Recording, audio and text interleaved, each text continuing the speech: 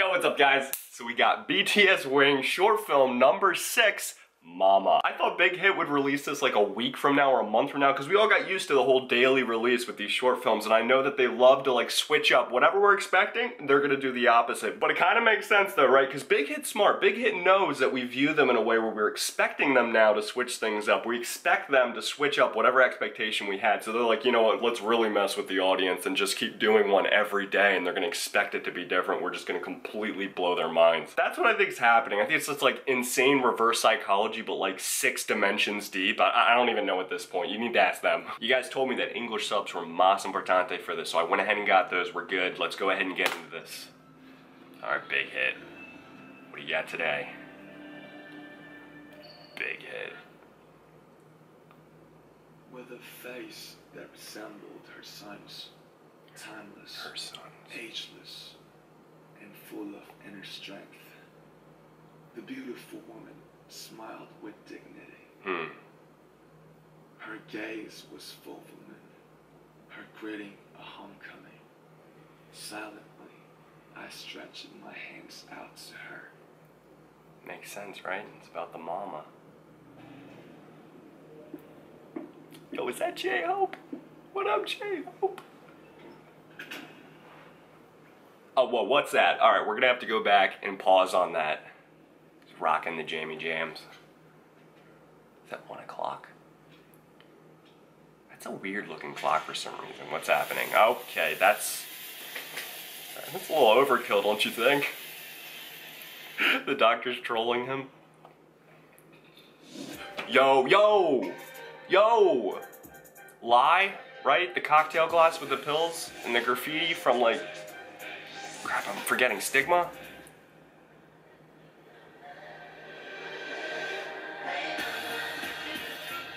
Yo, it's like the pill made him crazy. It's like he was normal before. Yo, he is not doing well. Oh, snap, yo. That's like that's like when he the last time with the trilogy, the, the I need you, when he took the pill and then he's like blap on the sidewalk and we're all like, duh. Oh, I think he's good now.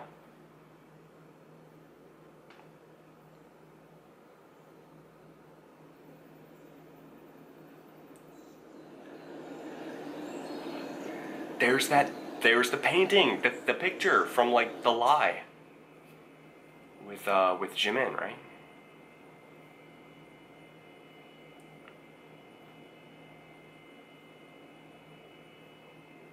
I guess he can just walk out whenever he wants. This guy is blue and the sun is shining. Alright, so. oh, there he is. He's back. He's good. We got J Hope back, guys. See, all you needed was a Snickers. Yo, and we're seeing what he saw. Mother and son. Ava, Ava, which, from the Spark Notes, Ava, that's the mother of Demian. Wait, did they really just combine that with uh, V's circle? Like, I thought it would be with Jimin's circle, right? I mean, we saw a lot of crossover symbolism with, like, J-Hope and Jimin, but no, they did it with V instead. That's the, They combined the circles. We weren't expecting that. Man, that kind of threw me off a little bit there, but, but I think it's important to mention that. I don't think Big Hit ever tries to throw you off. I don't think with whatever they do, I don't think their intention is to throw us off track. I think their intention is to incite more discussion, to get the theories rolling. I think everything is connected beautifully behind the scenes. It's just we're not part of Big Hit's staff, so we just don't know. So we're trying to piece together the puzzles, and they're just throwing us more pieces, which could be to a completely different puzzle, but we're still trying to figure out one puzzle, and they're like, yo, they don't even know that Big Hit made like a hundred puzzles already back in the early music videos when we weren't even looking at those music videos as puzzles in the first place. Can we just like address that Snickers bar for a second? Like I think I need to I need to process that the most. Okay, so like immediately I was thinking, all right, that's product placement of a big hit. Like they need to pay for this all somehow. So there you go. That's an opportunity. But then I think, no, they don't ever put anything in these for no reason. They don't ever include things in these short films that aren't part of their grand master plan. You know, it's all mise-en-scène. They don't have anything in here that's pointless. So I think the Snickers was just an opportunity. They're thinking we need him to eat something, so let's just just get that in there with product placement. But ultimately, what that was showing was the link between his mental state and Jimin's mental state. All right, so before continuing this analysis, let's go back and just pause real quick on that doctor's sheet that he was filling out. Right here, it says mood, anxious and irritable, thought process, illogical and retarded, and we got assessment, Munchausen syndrome? Question mark. All right, we gotta we gotta look this up. I'm no WebMD. I'm an engineer. All right, Google. So here it says that it is a fictitious disorder. What? It's a mental disorder in which a person repeatedly and deliberately acts as if he or she has a physical or mental illness when he or she is not really sick.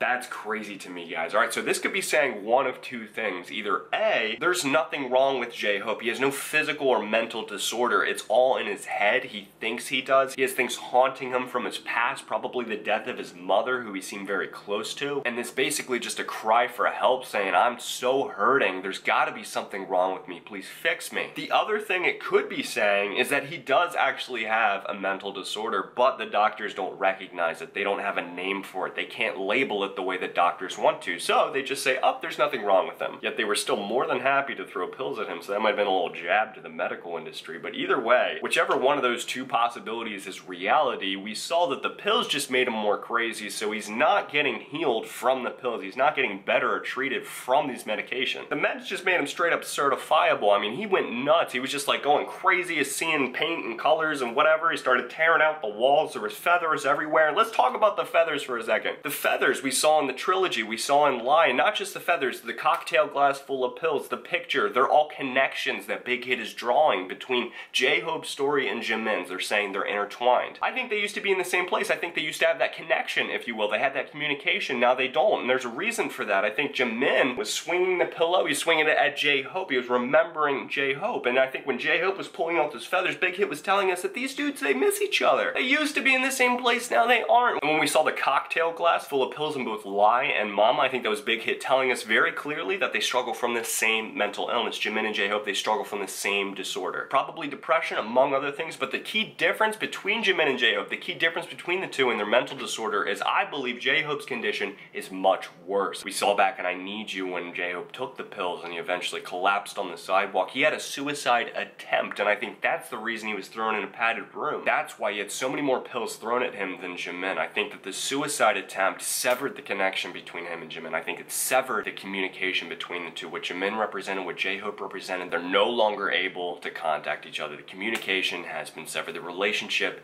is on pause. If we look at the title real quick, Mama, paired with Rapmon's intro from the book Demian, I think that's just all saying that J-Hope, he's missing his mom. He probably had a strong connection to her. She's probably dead now. He's missing her. It's messing him up on the inside. He's prone to self-harm, causing all this internal torment and pain, probably paired with other things that just potentiate it and make it worse. Getting mental disorders from. He's getting medication because of those disorders. You gotta ask yourself, what's the difference between a true mental disorder and believing that you have one enough that you're behaving the same way as if you had it in the first place? There isn't much of a difference if the end result is the same. You gotta deal with the root issue. Every one of these short films has one thing in common. The character is dealing with their own internal struggle, their own past, their own walk, and they ultimately face the root issue. Now, what they do about it and what the end result is has been different in every single one of these. And J-Hope faced his root issues at the very end, the very last scene when he was looking out of his cell door and we heard all those nature sounds. It's really important and we saw the painting. Now that painting is fake. It's not an actual landscape. It's just a picture of one. And I think it's important to realize that he was still hearing the nature sounds in his head. That was showing us an internal glimpse in his mind that he's completely wrapped up in the past on a deep level. That he's 100% focused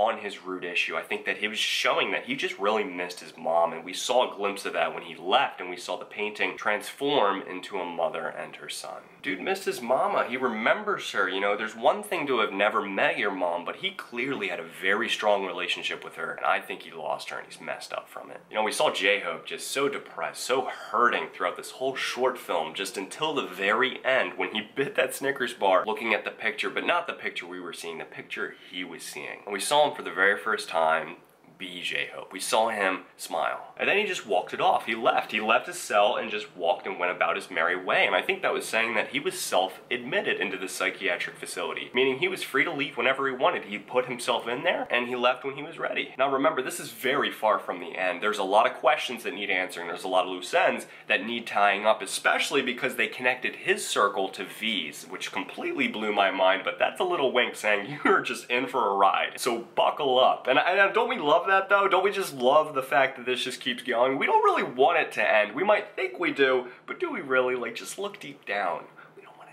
Now, one thing we know for darn certain is when he took that mystery pill and went completely berserk and we heard those crazy funky jazz beats, that's probably a clip from what will be one of the greatest BTS songs we've ever heard. Like, I just wanted more. I wanted that to be like an intro into the song, the entire music video, but you know, we're gonna have to wait for that. My question is, who's next? We've gone through six so far, six short films, so who's gonna be in number seven? I mean, they really like switching it up here on us. I feel like whatever we're gonna expect, it might not even be that, or, or maybe we expect it to be different, so they give us what we expected because it wasn't the expected difference in the first place. I, I don't know. We, no one really knows. We'll figure it out maybe tomorrow, maybe a week from now, maybe a month from now. You know, who knows what Big Hit's cooking up? Well, I guess I would know if I was secretly a freelance creative writer for Big Hit's production team. Thank you guys so much for watching. Please put your comments, your suggestions, your theories, anything that I missed down below. I want to hear from you guys. I read all the comments. Please subscribe if you have not already. That's a huge help to me. Definitely follow my Snapchat and my Twitter, and I will see you guys in part 7. Peace.